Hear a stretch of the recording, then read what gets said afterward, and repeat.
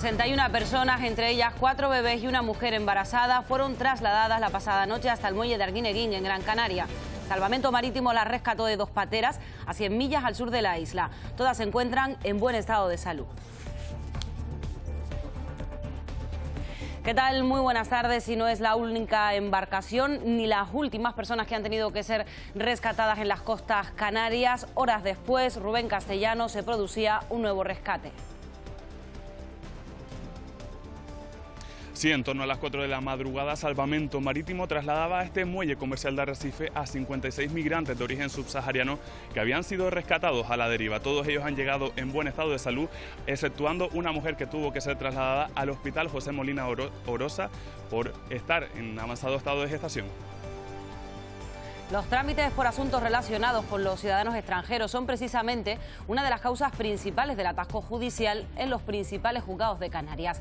Los asuntos pendientes se incrementaron en 2021 un 11% más que el año anterior. Abogados y jueces piden más órganos judiciales. Y estábamos pendientes de las medidas judiciales para el detenido por el asesinato de Clotilde. Se le acusa de matar a su mujer de 81 años en el sur de Tenerife, Gema Padilla. El juez ya ha tomado una decisión.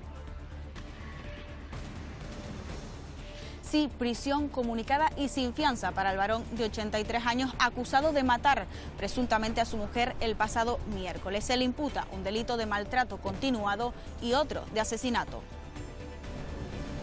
El Gobierno de España ha matizado hoy a través del BOE el decreto que permitía la introducción del gas en las islas. Para el presidente Ángel Víctor Torres, esta modificación permite descartar la llegada del gas a Canarias.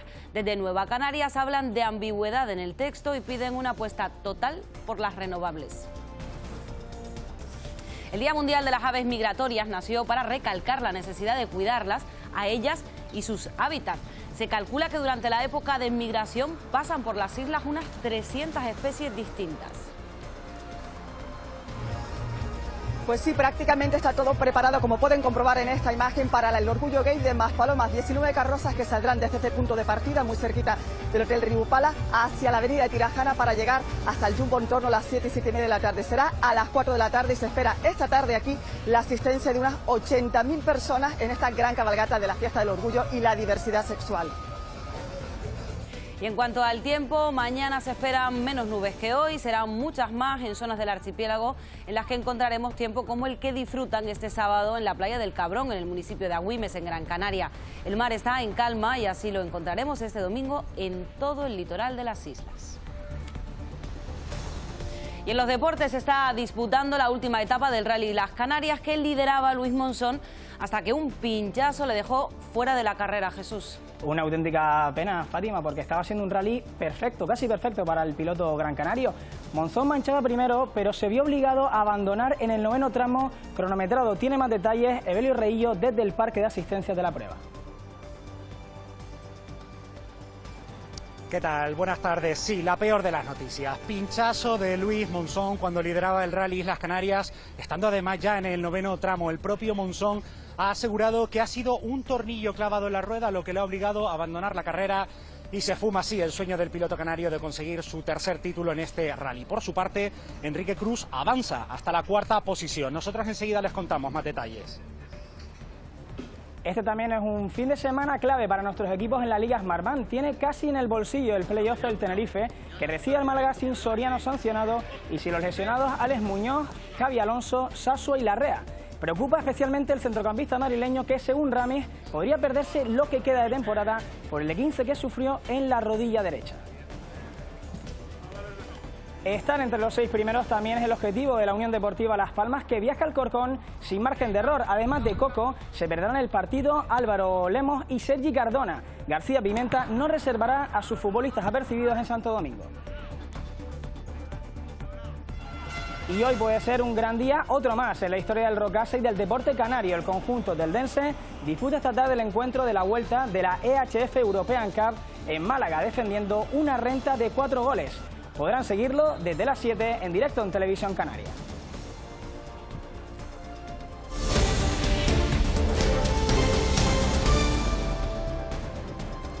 Prisión provisional para el presunto asesino de Clotilde. El detenido, la pareja de la víctima, está acusado de matar a su mujer de 81 años. Los hechos ocurrían en el sur de Tenerife este miércoles. Gema Padilla, ¿qué decisión ha tomado el juez?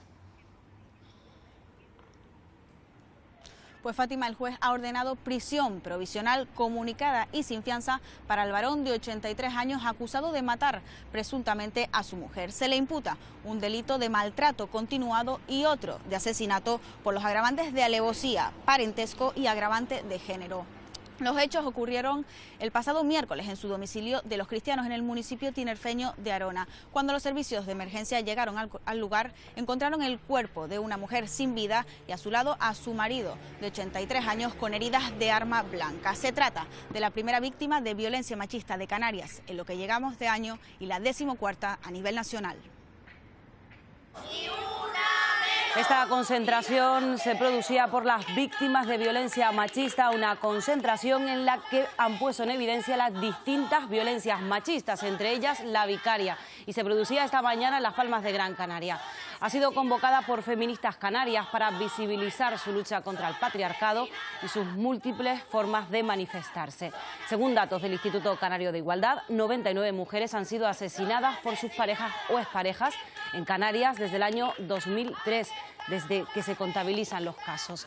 Y en el caso de los menores, ocho niños y niñas han sido víctimas mortales por violencia machista desde 2013.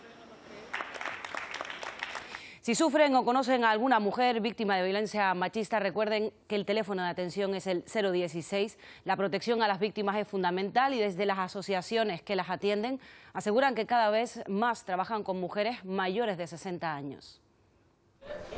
Los expertos aseguran que las mujeres mayores de 65 años se encuentran en especial vulnerabilidad frente a la violencia machista. Para ellas muchas veces es difícil dar el paso de denunciar. El sentimiento de vergüenza, em, a veces también el aislamiento, que por a medida que cumplen edad también pueden estar en situaciones eh, de mayor aislamiento. Em, bueno, pues todo esto puede llevar a situaciones en las que mm, no lo perciben y si lo perciben es difícil para ellas poder salir. Una situación que trae consigo no solo consecuencias físicas, sino también psicológicas. Durante cuántos años, a lo mejor, pues 60 años de su vida supeditada a una relación eh, maltratante, ¿no? Maltratadora y las secuelas que con 80 años puedes tener son terribles. Existen una serie de herramientas a disposición de todas las víctimas de violencia de género. Se puede dirigir cualquier mujer ¿no? que pueda necesitar ayuda. Ahí tiene asesoramiento eh, jurídico, tiene atención social, psicológica, tanto para ella como mujer, como para hijos y para los menores a su cargo. Y su objetivo diario es poder llegar cada día a una mujer más, ¿no? Poder llegar, la mujer que, que, que, que acude a nosotras, poderla atender con garantías, y este sábado, tras varias semanas de negociaciones con Europa, el Boletín Oficial del Estado ha publicado la esperada limitación al precio del gas que, según el Gobierno Nacional, permitirá reducir la factura de la luz alrededor del 30%. Pero además, en ese boletín, el Gobierno canario también esperaba una modificación que limitara la posible instalación del gas en nuestras islas.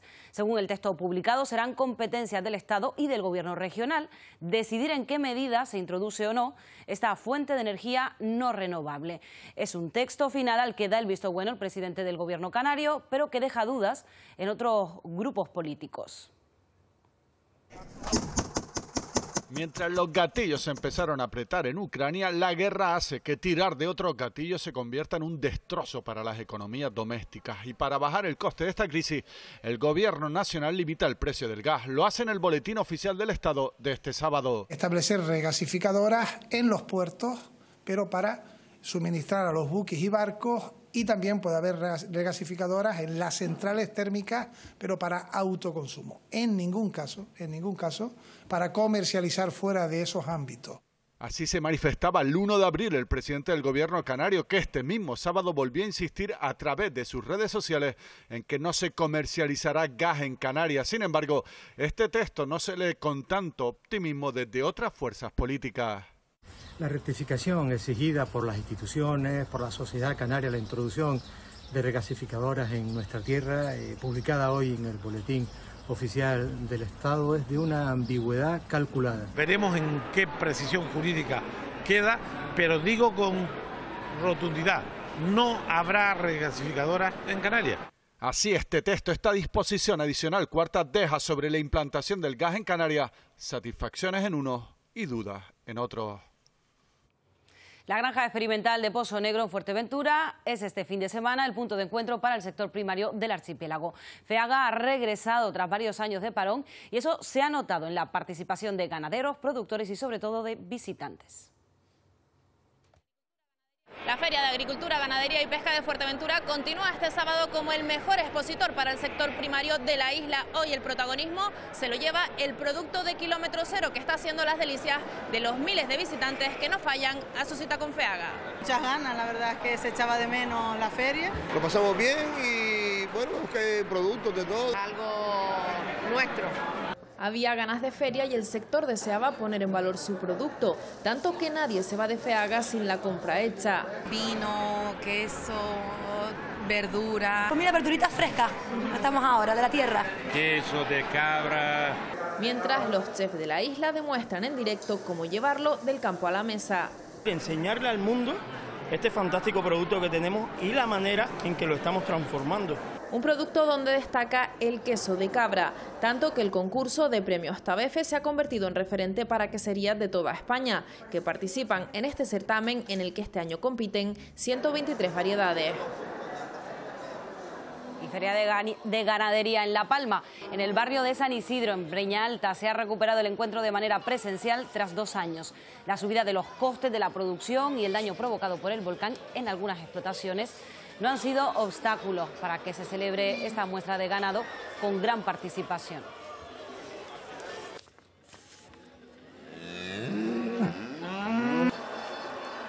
Rusia le ha dicho a Finlandia, el país que le hace de frontera con Europa, que ingresar en la OTAN sería un error.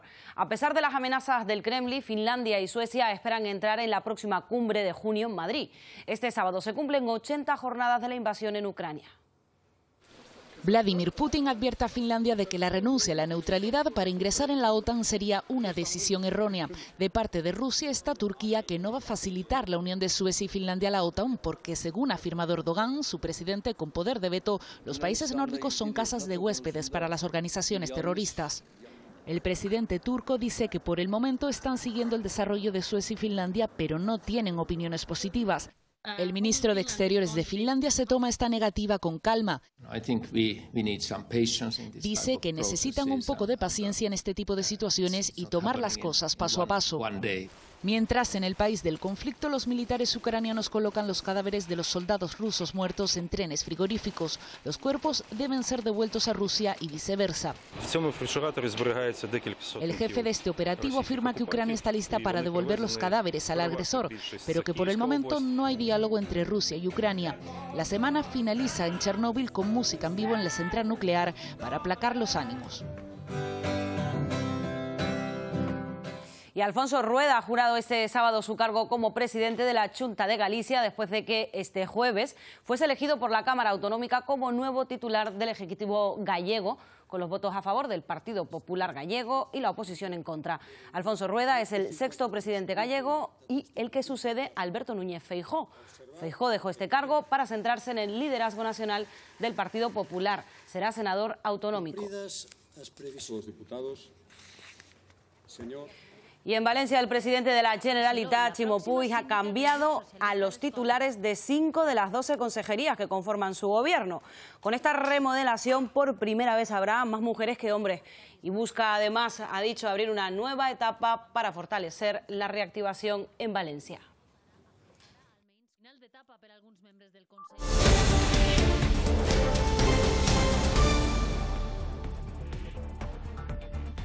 El pasado mes de abril, el juzgado de vigilancia penitenciaria concedía un permiso de tres días al principal condenado por el caso Cárate, Fernando Torres Baena. Silvia Luz es un permiso que está previsto que disfrute desde este fin de semana.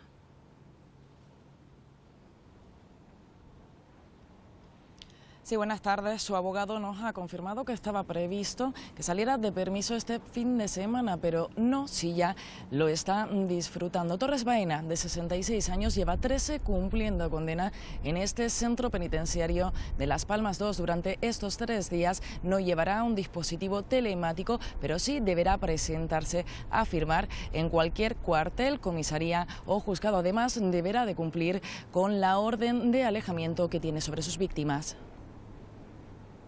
y la pasada madrugada llegaban hasta el muelle de la Cebolla en Lancerota. En Lanzarote, 56 personas rescatadas por salvamento marítimo. Todas se encontraban en buen estado de salud, aunque fue necesario, Rubén Castellano, hacer un ingreso al hospital. Sí, se trata de una mujer en avanzado estado de gestación que tuvo que ser trasladada al centro sanitario. En total son ocho las embarcaciones que han llegado a la isla de Lanzarote en los últimos cinco días. También anoche llegaba a Arguineguín, en Gran Canaria, dos pateras rescatadas por salvamento marítimo a bordo, 61 migrantes, entre ellos cuatro bebés y una mujer embarazada que fueron rescatadas a 100 millas al sur de la isla de Gran Canaria. Todas ellas han llegado en buen estado, todos ellos han llegado en buen estado de salud, aunque eso sí, esta semana hay que lamentar al menos 29 fallecimientos en la ruta atlántica. La llegada de personas migrantes a las islas en los últimos años, o los ERTE, han provocado un colapso en el sistema judicial. En 2021 subieron en un 11% los asuntos judiciales y los casos pendientes de resolver en Canarias. Son los datos del Tribunal Superior de Justicia de Canarias. En 2021 en el archipiélago se dictaron un 30% más de sentencias que en 2020. Han subido un 11% los asuntos judiciales y los casos pendientes de resolver. A pesar del fin de las restricciones, sigue el colapso en los juzgados canarios. Por ejemplo, en la jurisdicción contenciosa administrativa eh, hay un número mucho más elevado en los juzgados de las islas que en los juzgados de la península por razón de la extranjería no solo las personas que vienen eh, en pateras o cayucos, sino también de las personas que vienen por otros medios aquí a las islas. También en los ámbitos civil y mercantil aumentaron los casos por las situaciones derivadas de la reactivación de los ERTES tras la pandemia. Los juzgados de Santa Cruz de Tenerife, Arrecife o Las Palmas, entre los que más volumen de trabajo tienen. Es la primera comunidad autónoma o la comunidad autónoma en la que más eh, necesidad hay de que los ciudadanos acuden a los tribunales. Más números de entradas tenemos en los propios juzgados. Si invertimos en justicia económicamente, también invertimos en derecho a la igualdad, en perspectiva de género. Invertimos también efectivamente en materia de protección, eh, en, lo que respecta a la lata de la violencia sobre la mujer. En definitiva, en garantizar los derechos fundamentales de los ciudadanos. Con esa inversión, dicen, se caminará hacia la descongestión. Es necesario crear nuevos juzgados, aumentar el número de jueces o impulsar la cultura de la mediación como alternativa para resolver los conflictos y evitar así llegar a juicio. A pesar de estar prohibido el baño en la playa de Arinaga, en el sureste de Gran Canaria, esta mañana hemos encontrado bañistas dándose un chapuzón. El ayuntamiento cerraba ayer la playa tras encontrar importantes cantidades de microalga. Se trata de una especie subtropical que, aunque genera más de la mitad del oxígeno del planeta, puede ocasionar problemas respiratorios, dolor de cabeza o irritación de mucosa y piel. En caso de contacto se recomienda lavar la zona con agua dulce tibia y acudir al médico. Ahora hasta el próximo lunes no hacen nuevas analíticas y hasta que no tengamos los resultados de salud pública a partir del lunes, pues tendremos que tener las playas cerradas al baño. Sí, sí, no, yo me voy a bañar hoy ya, visto lo, y he leído lo que he leído, pues no voy a bañarme, claro que no. Ah, claro que no me voy a bañar porque está la bandera roja, según los expertos, ¿no? Yo no sería el menos indicado para decir que sí, que no. Bandera roja. En la fortaleza de Chipude, en La Gomera, se han registrado los últimos meses una serie de actos vandálicos que ponen en riesgo la integridad natural e histórica de esa zona. Afectan a los yacimientos arqueológicos que se encuentran en la cima. Ana Ramos. La fortaleza de Chipude, además de monumento natural, es bien de interés cultural por sus yacimientos arqueológicos. Su silueta es una de las imágenes más representativas del paisaje de La Gomera y las vistas que se disfrutan desde la cima hace que sea una de las zonas más visitadas por los senderistas, aunque no todos tienen un comportamiento respetuoso con el entorno, pues están registrando actos vandálicos. Construyen montículos y espirales utilizando las piedras de los yacimientos de las aras de sacrificio. En la cima hay un sendero perfectamente señalizado para evitar que el caminante invada la zona de yacimientos. Aún así, se siguen produciendo estos actos vandálicos y los técnicos eh, de medio ambiente deben realizar actuaciones continuas para devolver a la zona su aspecto original. Nos estamos encontrando en estos momentos y desde varios meses atrás con estas apariciones de esculturas a través de montoncitos de piedra en forma de, espiral y de, de hileras que bueno, que lo que hacen es modificar el entorno natural y con ello perjudicar el ecosistema. Y la Laguna en Tenerife vuelve a celebrar este fin de semana el Día de la Familia y lo hace con más de 70 propuestas distribuidas por toda la ciudad. Los más pequeños podrán disfrutar de talleres, música, espectáculos y actividades deportivas para todas las edades. La combinación perfecta para pasar un día en familia, poniendo en valor también la oferta cultural y el tejido empresarial de este municipio. Estamos volviendo a la normalidad y la gente lo demanda. Ilusión, alegría. La laguna está más viva que nunca. Vamos a tener actividades para todas las edades y más de 70 puestos diferentes donde podrán encontrar pues, diversión asegurada y sobre todo la reivindicación de las familias como un papel fundamental para nuestra sociedad. Los Llanos de Aridane ha sido el punto elegido en La Palma para la celebración del Día de las Familias, un punto clave que buscaba reunir a los niños y niñas de los municipios afectados por el volcán en un espacio común a través de diversas actividades. El objetivo de la Dirección General de Protección a la Infancia y la Familia es consolidar el tejido asociativo entre los vecinos de los barrios dañados por las coladas. Yo creo que nos han dado una lección tanto las familias como los niños y las niñas y es esa capacidad de resiliencia, una capacidad de resiliencia de sobreponerse a las adversidades que, que han vivido en los últimos tiempos, no solamente por la pandemia, sino fundamentalmente por la erupción del volcán. Emigramos porque a mi madre no le gustaba Venezuela, porque era un, un país muy inseguro. Yo emigré al revés, yo vine de África y emigré para Canarias. Porque como nací en África, o sea, el que emigró fue mi padre. Son retazos de historia no escritos, las de sus vidas que pasan de padres a hijos, reforzando lazos familiares que hoy rescatan sus nietos. Y hemos realizado un trabajo con nuestros abuelos, eh, su pasado, de cómo era todo en la, hace años, y hemos, lo queremos hacer un documental. ¿Había algún juego que solías hacer con tus amigos? Sí, jugar al brilé, a la soga, a pasamisín. Las carrilanas también, que eran cochitos que hacíamos nosotros con, con ruedas y madera. E igual que jugaban entonces, también recuerdan anécdotas para no dejar de reír. Me peleaba con mi hermana y salía mi madre con la chola o con el escobillón. Tenía siete años, tenía chupa y me dio el sarampión. Mi madre, para que dejara la chupa, le puso pimienta. Este proyecto tiene que ver un poquito con la memoria oral de, de Canarias, entonces queríamos recoger el testimonio de los familiares más mayores de nuestro alumnado. Y guardarnos eh, un pedacito de la memoria oral de Canarias, que es lo que en sí eh, es, es nuestra esencia. Si la perdemos, ¿qué nos va a quedar? Y hoy se celebra el Día Mundial de las Aves Migratorias, una jornada para visibilizar a estos pequeños viajeros y conocer cuáles son sus amenazas.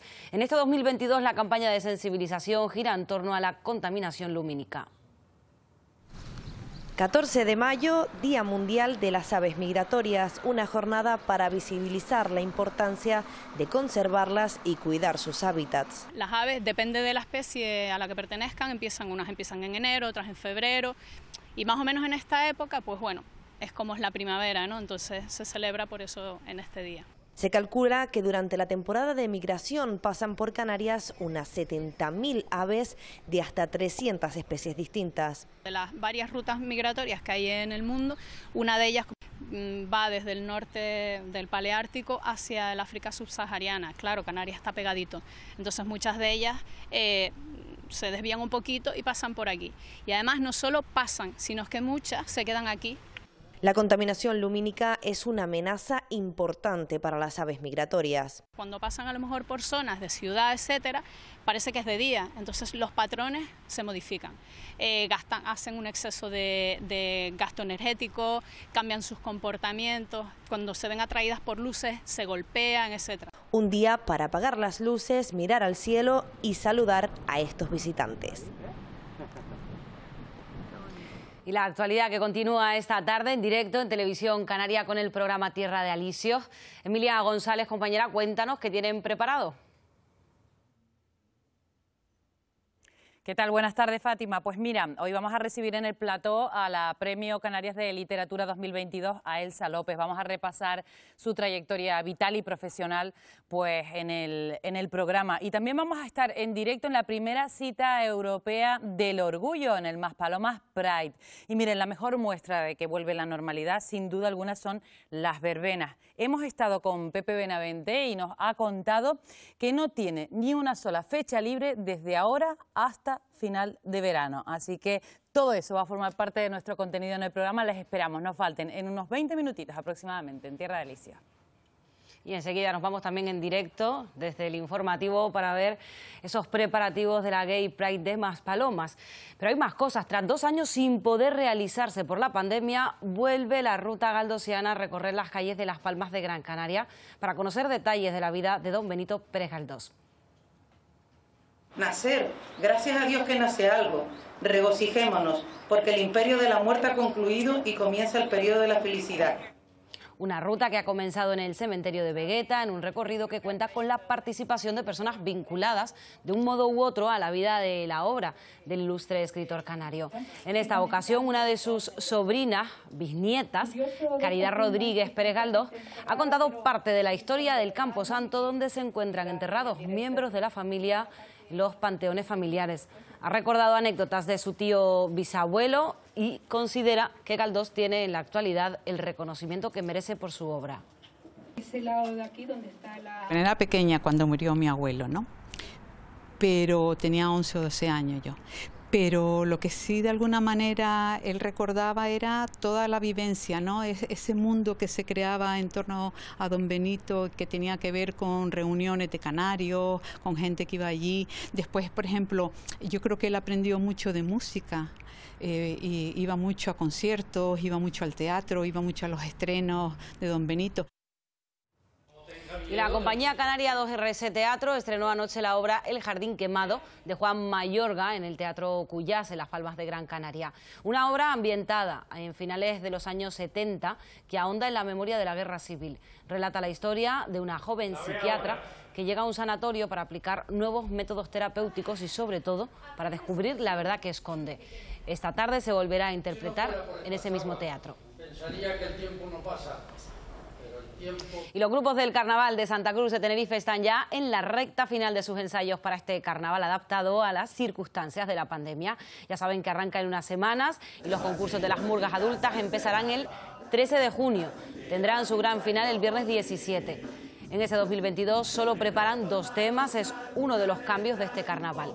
Todos con muchas ganas de volver a subir al escenario del recinto ferial y hacer disfrutar al público con sus letras cargadas de humor e ironía.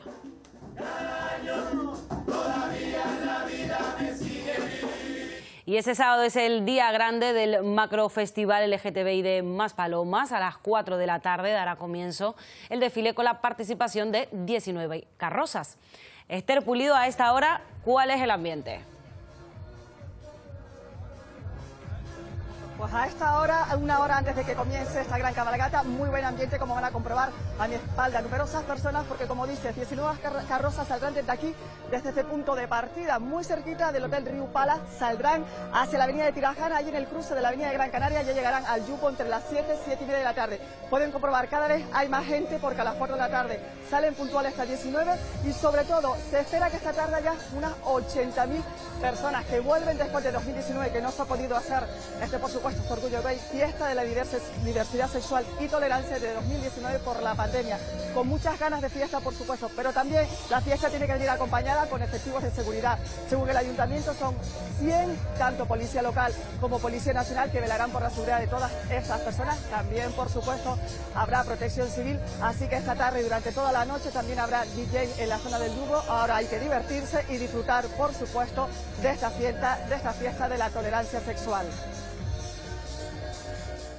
Con ganas de fiesta, todo el mundo que quiera venir a la gay, aquí estamos, porque esto es maravilloso. Dos años después de nada, ni carnaval ni nada, aunque yo soy más carnavalero que del orgullo gay, porque soy hetero, pero aquí venimos a disfrutar. Siempre la igualdad, la igualdad de todos ellos. Eh, en realidad esto nos costea el pagar los impuestos municipales, de todo un poquito, ¿sabes? O sea, genera algo para, para pagar, está claro, no, no, no para hacernos millonarios.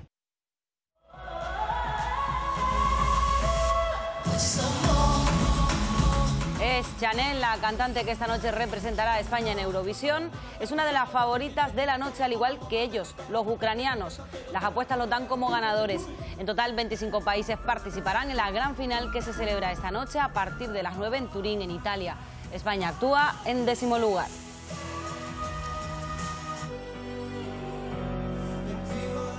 Seis artistas de las islas han sido candidatos del certamen en los 61 años de historia de la participación nacional, entre Conchita Bautista y Chanel. Una participación canaria que ha sido dispara, aunque en la mayoría de los casos bastante positiva. Hacemos un repaso a la historia canaria en Eurovisión.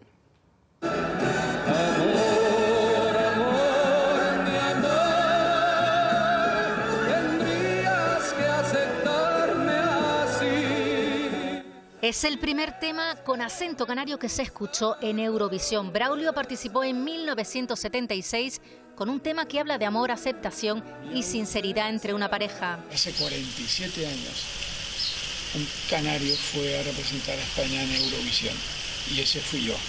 Esta noche estaré pendiente de lo que haga Chanel.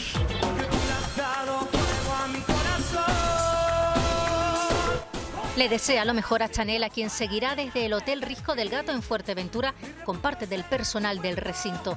Algo que no hará Ramón del Castillo porque estará trabajando en su local. Tenía 18 años, para mí fue un shock en aquel momento. Y aparte que se la estaba jugando era yo y, y, mm, y es que ha sido evidente a lo largo de los años que eso queda ahí para siempre.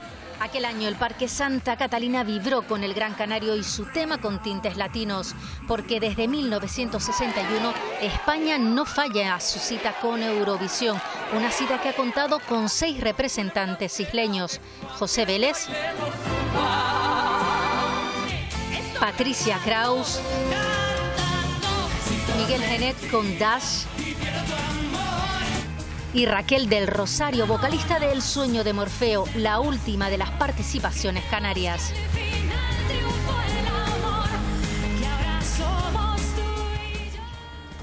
Pues así terminamos, ya saben que enseguida llega la información deportiva y luego del tiempo. Nosotros regresamos a las ocho y media con toda la actualidad. Por cierto, Eurovisión empieza esta noche a las 8 de la noche. Pasen muy buena tarde, sean felices.